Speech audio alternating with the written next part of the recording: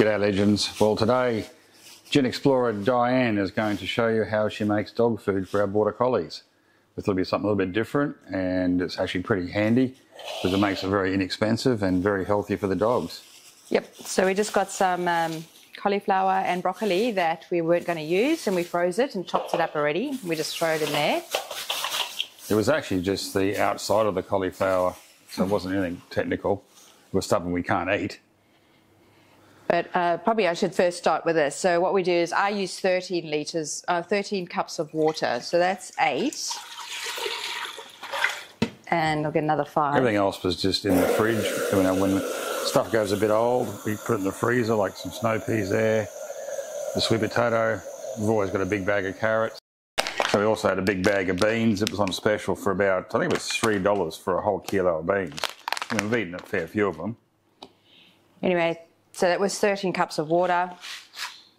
Basmati rice, I use brown rice. One kilo. Um, yeah, it is one kilo. Just empty it into there. Put it on the stove and I get it boiling. So while I wait for that to boil, I just chop up my vegetables. And once that's boiling, and I've let it boil for normally 10 minutes, then I throw my vegetables and I just let it cook until the water pretty much absorbs and it's a drier mix. Okay, so we've got a bit of pumpkin here, sweet potato, carrots. Uh, that's some snow peas and stuff. And what I do is I just sort of roughly, roughly chop it. Um, into sizes that we're going to cook because I cook it for normally about 45 minutes. So it's just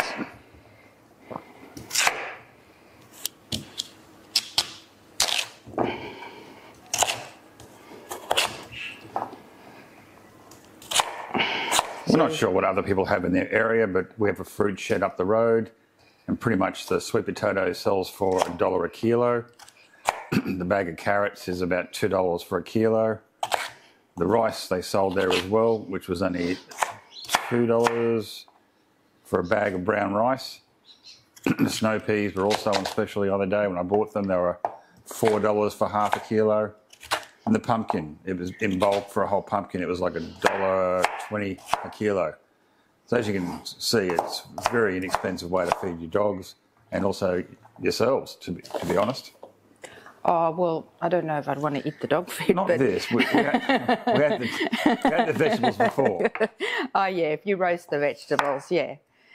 Because, yeah, it's all, it's all fresh stuff. So, and then we give our dogs a mixture. Not everybody's dogs can eat this. I know some, my friend says her dog's allergic to raw meat, but we give our dogs uh, raw meat.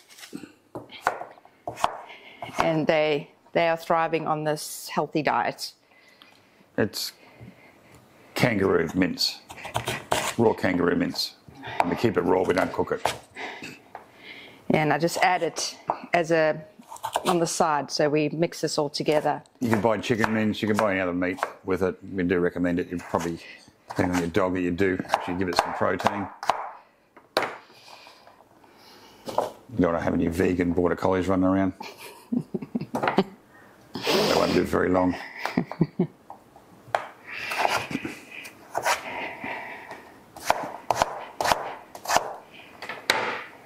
Okay.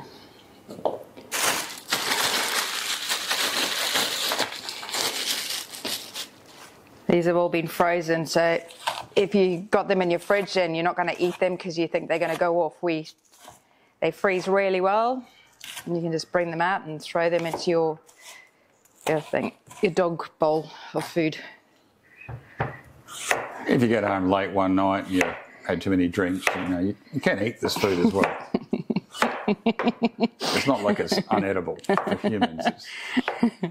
well, it is all human quality stuff. Yeah, There's it's nothing... all cooked properly and frozen. And... I, you'd have to be really drunk though. Come, our kids eat McDonald's. That's worse. True.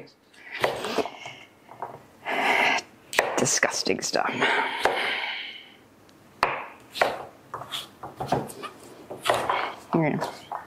As you can see. So basically, this We try and fill that bowl up. They're basic, you know, it's a good bowl we use, and it seems to once that's stacked full, we know it's enough to go, not too much to go in the pot. and it's it also because we portion it out for the dogs as well. Um, and I, and what happens is we freeze it, and I normally make about 15. It always seems to be an uneven number. 15 um, uh, bags of food, because Harry has 400 grams and Shiraz has 300 grams plus. A bag a day, so you're pretty much doing food for a whole week. So you have to do this once a week. And yeah, and the bags I freeze. I don't put them all in the in the fridge. The rough cost to be about five dollars. So you're feeding your dog for two dogs for less than a dollar a day, plus your protein, which works out about uh, two dollars fifty for two dogs a day. So inexpensive cooking for dog, and it's healthy, healthier than anything you can buy. Oh, it's healthier than the than that awful canned stuff. Yuck. And dogs have never had canned food. No, no. Hello again, and if I could just take a few seconds of your time just to ask you if you could please subscribe to our channel. It really be appreciated and it helps us in ways that you can't imagine. And also like our movies and also leave a few comments. We'd like to hear what you actually think of what we're doing. Thank you, and like I said, please subscribe to our channel. Okay, so I just went out into my garden and I just um, picked some mint, some rosemary, some basil, and some parsley. I've, people have say don't put parsley in the dog's food. Um, other people say it's fine.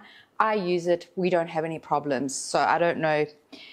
I, this is what we use. You, everyone's going to use their own stuff, and then I chop it up and I add it towards the end of the dog's food. I don't add it now.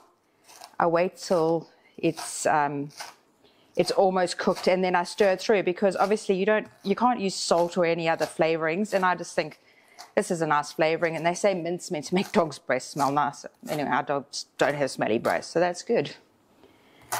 So after I've boiled my brown rice for five minutes, I then throw in my vegetables carefully, as carefully as I can, because it normally splashes everywhere.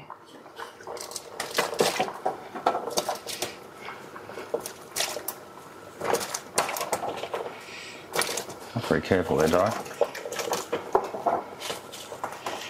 Disclaimer. Be a lot more careful with your hot water.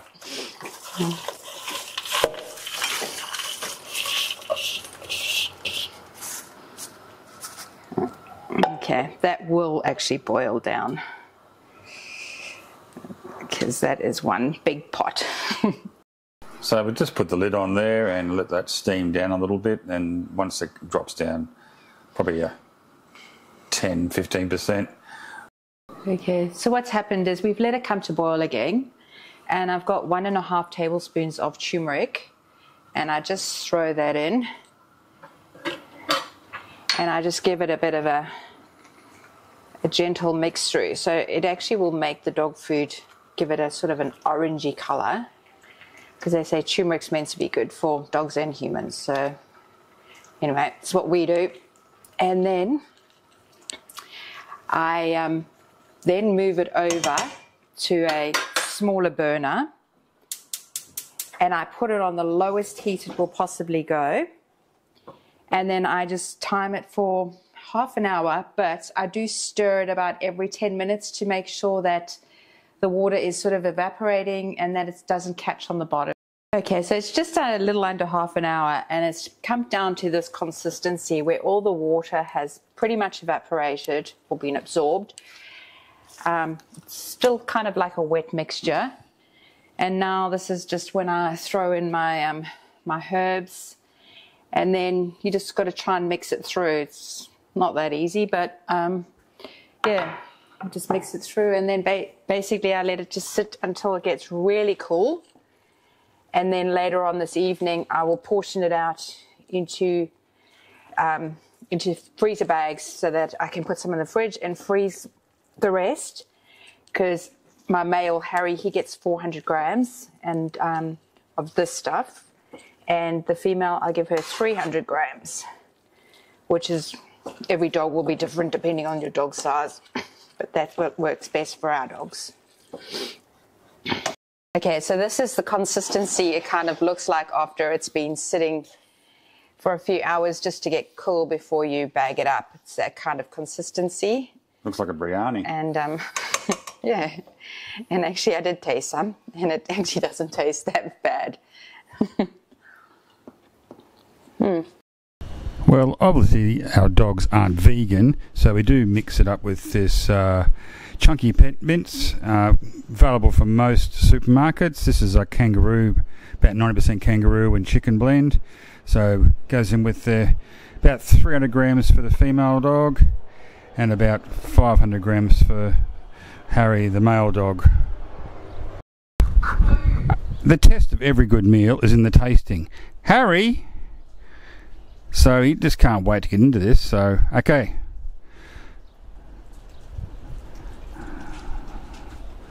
So, yep. They like it.